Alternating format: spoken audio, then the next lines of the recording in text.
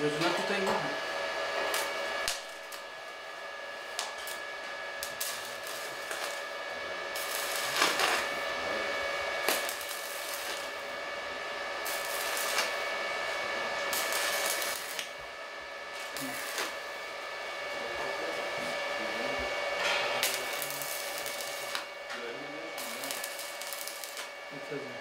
Yeter, tamam.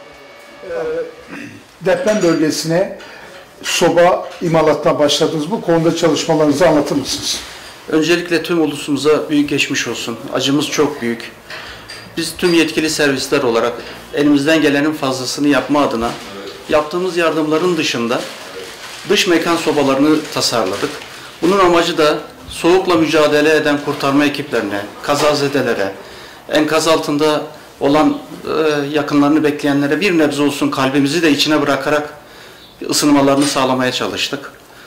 Bu e, çamaşır makinesi içinde bulunan tamburlar kazanla bir yekpare tek parçadır.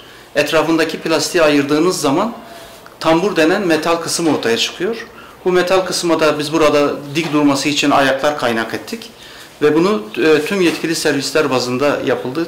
Enkaz bölgelerine yaklaşık binin üzerinde bu sobalardan gönderildi ve göndermeye de devam ediyoruz. Siz de şu anda kaç tane soba ürettiniz? Biz şu anda 10 tane ürettik. Daha da üretmeye devam ediyoruz.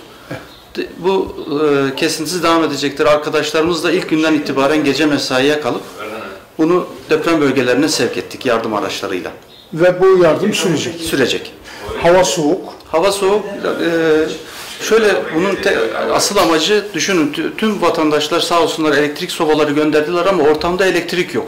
Yani vatandaşın bir, bir yerde ısınması gerekiyor. Odun sobası olarak düşünün dışarıda içinde yakılarak bir barbekü e, mantığında sobalar üretildi. Bu hem e, kömür hem Evet hem kömür hem odun olarak yakılabilir. Yakılabilir. Tüm malzeme içinde yakılabilir evet. Peki.